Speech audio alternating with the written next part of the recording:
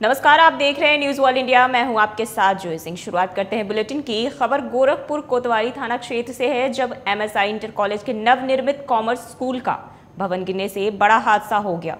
सूत्रों की माने तो इसमें दो लोग दबे जो मजदूर बताए जा रहे हैं। एनडीआरएफ और पुलिस बल बचाव कार्य में लगी हुई है। मौके पर एसपी सिटी के साथ ही जिला प्रशासन के तमाम बड़े अधिकारी मौजूद रहे। घटना शाम के लगभग छह बजे की बताई जा रही है घटना को लेकर। एडीएम वित्त एवं आपदा प्रबंधन राजेश कुमार सिंह ने बताया कि मौके पर राहत बचाव कार्य जारी है। एनडीआरएफ के साथ ही जिला प्रशासन पुलिस मुस्तैदी के साथ लगी हुई है। जल्द ही मलबे में दबे लोगों का रेस्क्यू कर इलाज के लिए अस्पताल भेजा जाएगा। एम फाइनेंस गोरखपुर हूँ और प्रभारी अधिकारी आपदा हूँ। ये घटना स्थल है इस्लामिया डिग्री कॉलेज का। इसमें ये कामर्स संभाग था। यहाँ पर आ, कुछ निर्माण करा रहे थे लोग। स्लैब पड़ रहा था अभी। और वो किन्हीं कारणों से टूट करके गिर गया। मौके पे अभी एक व्यक्ति अंदर दबे होने की सूचना है। वो व्यक्ति बोल रहा है, उससे बातचीत हो रही है। ऐसा बताया जा रहा है कि शायद दूसरा व्यक्ति भी अंदर है, लेकिन ये अपुष्ट है अभी।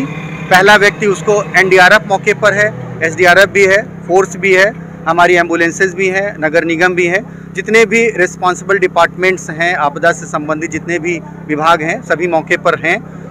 स्लैब को काटा जा रहा है और काट करके उसको शीघ्र ही बाहर निकाल देंगे।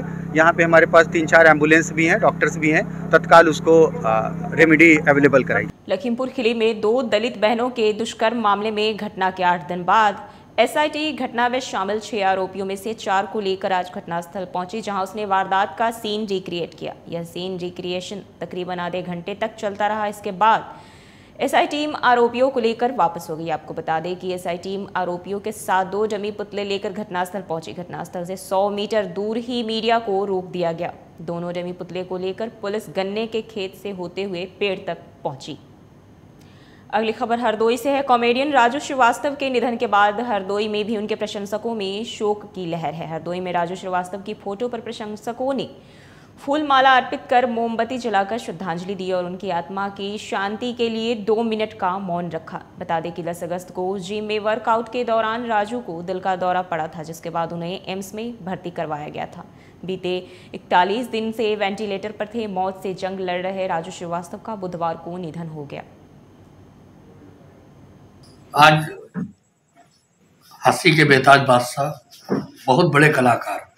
आदरणीय श्री राजू श्रीवास्तव जी, हम सबके बीच में नहीं रहे। बहुत दुख की घड़ी है। हम लोगों ने उनके लिए बहुत सी दुआएँ की। कई बार अल्लाह ताला से फरियाद करी, लेकिन जितनी ज़िंदगी थी उतनी राजू श्रीवास्तव जी ने शानदार तरीके से जी। लेकिन आज वो हम लोग के बीच में नहीं रहे, इसका बहुत गम है। आज हम लोगों ने उनको श्रद्धांजलि अर्पित की है और ईश्वर से, ऊपर वाले से दुआ की है कि वो जहाँ कहीं भी रहें जैसे दुनिया पर रहकर खुशहाल ज़िंदगी गुजारी।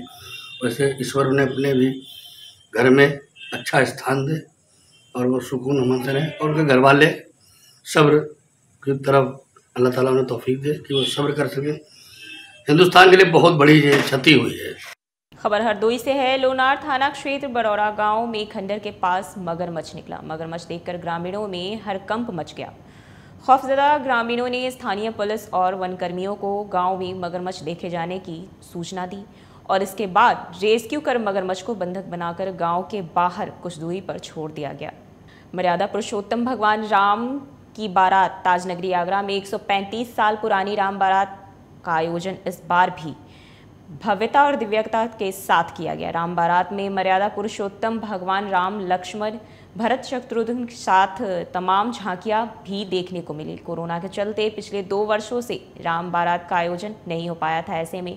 राम बारात को लेकर प्रभु राम के भक्तों में भी उनकी बारात को लेकर भारी उत्साह देखा गया। बता दें कि राम बारात में उत्तर प्रदेश के मुख्यमंत्री योगी आदित्यनाथ की भी डुप्लीकेट झांकी शामिल हुई। हाथरस के शहीद अनिकेत उर्फ़ कान्हा के घर पहुंचकर राष्ट्रीय लोकदल अध्यक्ष जयंत चौधरी ने श्रद्धांजलि दी। आपको बता दें कि 4 सितंबर को विशाखापट्टनम में सड़क हादसे में जवान शहीद हो गए थे। वहीं आरएलडी अध्यक्ष जयंत चौधरी ने सरकार से शहीदों के परिजनों को पूर्ण सम्मान देने की मांग की है, साथ ही उनके गाँव के लिए विकास की योजनाओं की भी मांग की है। अगली खबर फरुखाबाद से। फरुखाबाद में आकाशीय बिजली गिरने से चार लोग जख्मी हो गए, जिसमें दो बच्चियों सहित तीन लोग झुलस गए। बताया जा रहा है कि दो बच्चियाँ जानवरों को चारा डाल रही थी। इसी दौरान अचानक आकाशीय बिजली गिरी जिससे वो झुलस गई। साथ ही बिजली गिरने से जियो टावर सहित पास के मकानों में दरारें भी आ गई। चारों घायलों को सीएचसी में भर्ती कराया गया है। पौड़ी के गंगापुर भोजपुर में एक रिसोर्ट की रिसेप्शनिस्ट लापता हो गई। यह पौड़ी के श्रीकोट पट्टी की रहने वाली थी। लापता हुई रिसेप्शनिस्ट के परिजनों ने ग्रामीणों के साथ मिलकर अपर जिलाधिकारी पौली इलागिरी से मुलाकात कर इस पूरे घटनाक्रम के बारे में उन्हें बताया। साथ ही युवती की माँ ने रिसोर्ट संचालक पर आरोप लगाया है कि उसने ही बेटी को अगवा किया है। 18 सितंबर से युवती का कोई पता नहीं चल पाया है, जबकि रिसोर्ट मालिक ने 19 सितंबर की शाम उन्हें इस बात की जानकारी दी। उन्होंने एफआईआर लिखवा दी है। कल लिखवा दी थी पटवारी को। तो पटवारी उसमें जो भी है चूँकि ये महिला से संबंधित अपराध थे, इसलिए वो जैसे रिपोर्ट आती है तब उसमें सीसीटीवी कैमरा वाला जो प्रकरण है वो तो विवेचना में आ ही जाएगा। इसके अलावा होटलों में सीसीटीवी सभी में होटल रिजॉर्ट में सीसीटीवी कैमरे लगे इसका आ, इसका भी सुनिश्चित किया जाए। इस बुलेटिन में अभी सिर्फ़ इतना ही बने रहिए न्यूज़ वर्ल्ड इंडिया के साथ।